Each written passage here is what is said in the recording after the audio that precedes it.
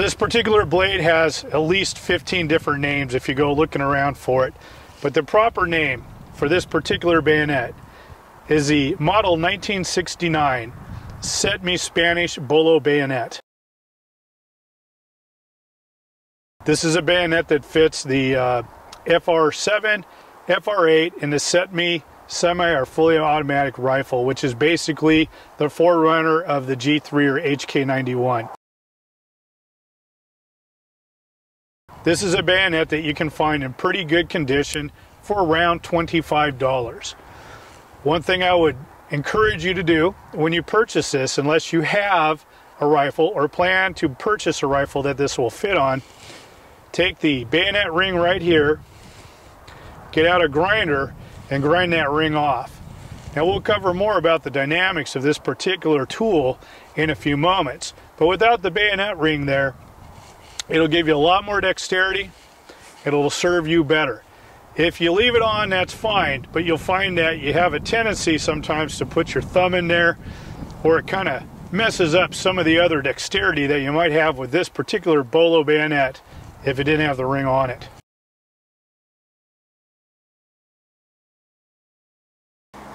The word CETME is assigned to this bayonet all the time, C-E-T-M-E. Yes, that is a style of rifle, but it actually stands for the Center for Technical Studies of Special Materials. This is actually called a modified frog. A lot of people just call it a sheath, a lot of people just call it a scabbard, which is, is right, but this is more of a frog style bayonet sheath. What does that mean? Here's the way it breaks down. It is a two and a quarter inch wide, heavy, thick, olive drab canvas webbing so fit on the left side or the right side of your belt loop without any trouble at all. It affixes obviously to your backpack or whatever configuration you want to do. The very bottom of it also has a lanyard hole if you want to strap it to your leg or once again affixed it to something else. The canvas is riveted to a metal single throat frog that handles the olive drab hard plastic scabbard. These are very durable they're all riveted together. The only downside is that over time, the canvas can wear out, but you can buy another scabbard because it's military surplus. It had about a 30 year run, right? Or that the black paint starts to rub off and it gets kind of shiny. Knock the shine down by just repainting it or take a piece of black electrical tape. That'll knock down the shine for you as well if it's a concern. So let's break down the dynamics of this blade. This blade is a lot heavier than it looks. It's actually about one pound, about the same as a bottle of water. If you include the scabbard, it's one and a quarter pound, which is a bottle and a quarter of water for those of us that like to go hiking. The overall length of the blade is 13 and a quarter inches long. The blade itself is 9 inches long, with 8 and 3 quarter inches of that actually being blade surface. The face of the blade itself is a full 1 inch, with the blade surface being about a half inch all by itself. If you turn it sideways, you'll notice that it has a bolo looking type of facing. That is basically one eighth inch of metal that's been hollowed or shallowed out of there. Now the bolo is a significant style of weapon in Spanish history, much like the Bowie knife or the Bowie knife is in American history. If you think about our bayonets, shaped like a Bowie. If you look at the Spanish bayonet, it's a bolo design. It is the only bayonet that I'm aware of that actually shaped in a bolo type of style. If you take a look at it, it is 3 16 inch thick Toledo steel. It only has one edge and it's shaped like a bolo. The spine of the blade is not sharpened.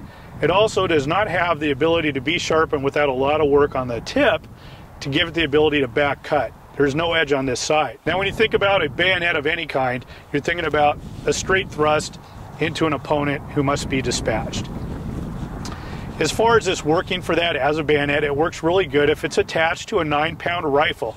All that force and incoming energy directed into whatever the target is, it'll work well. It'll punch through a brick. If you look at this blade from a different direction, not attached to a rifle of any kind, it is much better because it is a bolo at hacking and slashing. the actual bolo design is really good at knocking down, well, twigs and small branches like you see behind me, or about the thickness of somebody's wrist who is trying to harm you. Now the blade is full tang. It goes all the way down to here to the handle, but then in the handle area, the tang drops down to half inch, much like the facing of the blade. And it goes all the way down to a locking mechanism, which really isn't going to affect anything for you unless you have, once again, the firearm. What's nice about it though, is this is solid metal on the pommel. It's not pointed, but because it's handle heavy, if you just want to thump some, it'll work very well. The blade itself actually has an anti-reflective black coating on it.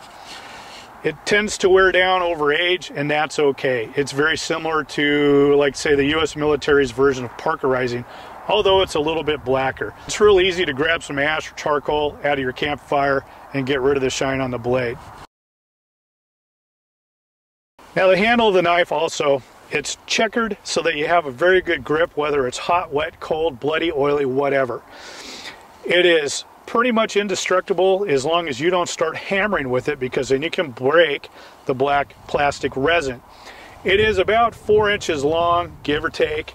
It fits your hand incredibly well. It has a very deep belly that's kind of molded to your hand. It works very well with well with your naked hand. It works very well with any kind of combative type of gloves in the field, you should be wearing a leather glove anyways, since bugs, parasites, fungi get under your fingernails and can cause you problems. Now, over time, I've never seen one of these handles loosen up, meaning that there are four pins, one, two, three, four pins, holding basically this uh, black plastic to the full tang knife, and that also affixes the bayonet ring. Never seen it get loose, never had a problem with that. Sometimes the locking mechanism on these is damaged, but what do you care unless you have a set mirror and FR8, right? Now it's time to talk about two crests that are actually stamped into every one of these bayonets. They're stamped into the ricasso. What is a ricasso? The ricasso is the area between the bayonet mounting ring and where the edge of the blade begins, right about where my finger is. That is the ricasso of the blade. On one side, you'll see the Spanish Army Eagle Crest. On the other side, you'll see Toledo INI, which is stamped within a shield with a sword, and it's also stamped SB. St. Barbara, patron saint of mathematics, of fencing. Let's talk about the Spanish circle. Some people call it de destreza. Other people call it walking in circles, fighting in tangents.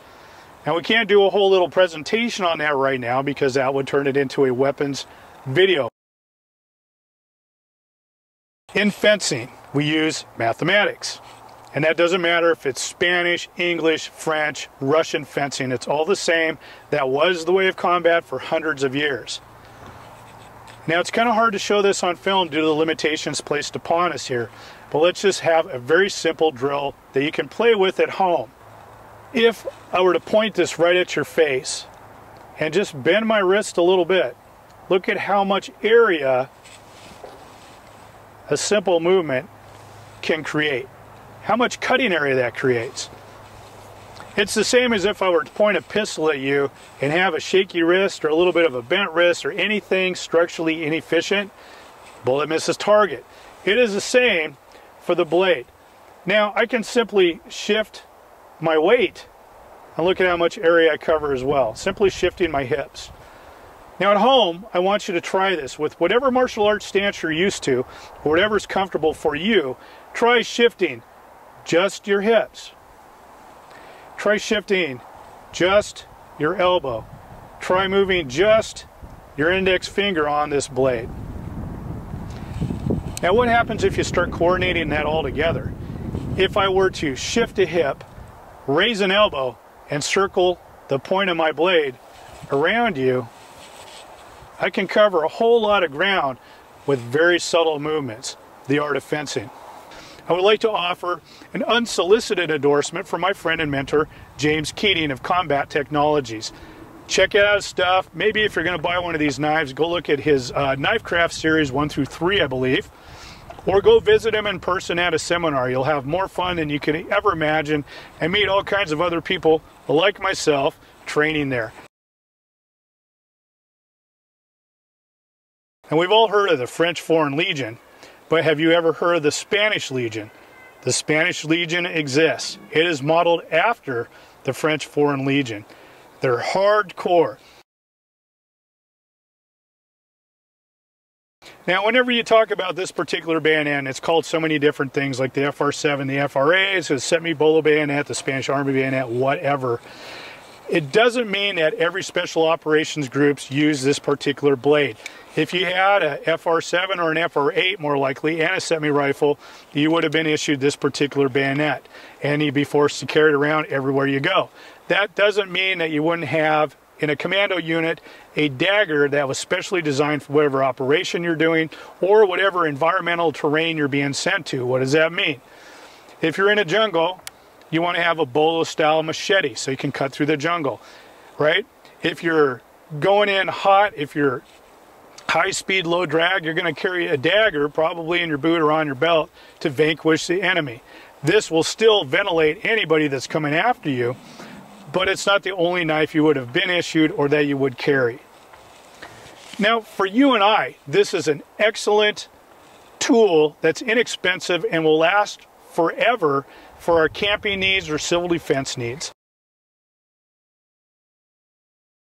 Now, as far as just carrying this in the woods, it's a 9 inch blade. It's the same, basically, as if I were to kick you. I have the same range pointing this knife out with the tip equals about where my toes would hit you. So I've developed a little bit of range or created a little bit of a time warp if you're coming towards me. Think about what I just showed you.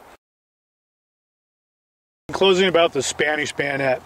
That bayonet has actually been used all over the world. You'll find it in Central and South America.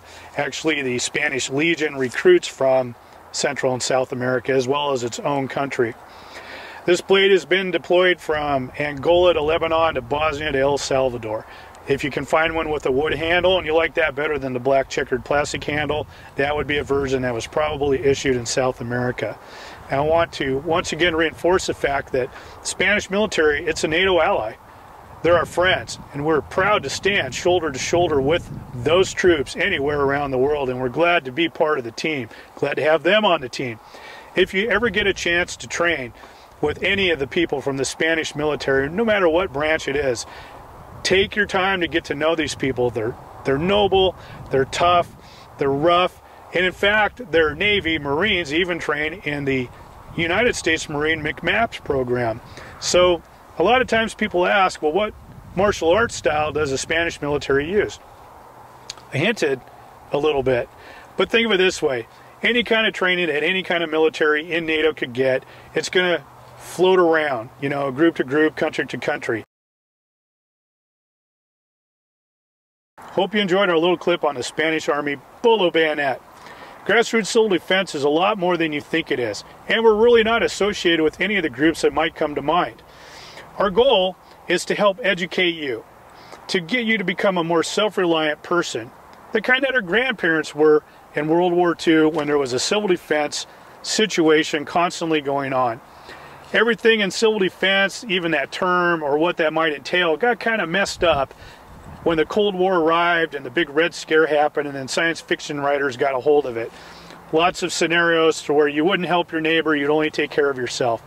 That's BS. That's not the way Americans do things. We take care of our own. Think of how united we were after 9 11. That spirit, it's still there. Hopefully, we can help you find your way back to that.